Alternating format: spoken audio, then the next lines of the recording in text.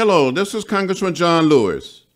I worked with John Comerford at the National Consumer Cooperative Bank over 35 years ago, and I can tell you that John is a financial expert whose heart is in the right place.